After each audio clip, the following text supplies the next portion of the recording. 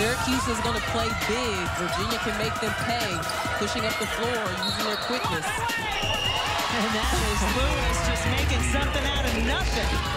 Runs into a double team. Really? He may have taken a shot to the face. Good defense on Jocelyn Willoughby collapsing. Engstler looking for another. Give it to her.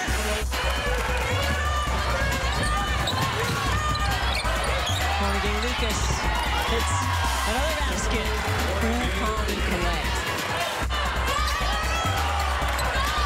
Cornegay Lucas scoops it up off the front of the rim. Working the glass is Willoughby. The postseason for these two teams. They're playing for another day in the ACC tournament. Jean Vitambi on cue has two.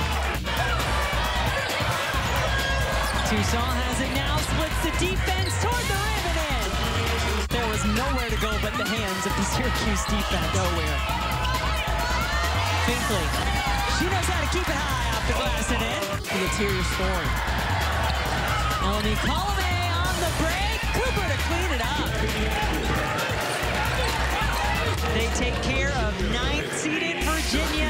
Syracuse moving on for a date against the top team in the conference, the Louisville Cardinals. You also, Jen,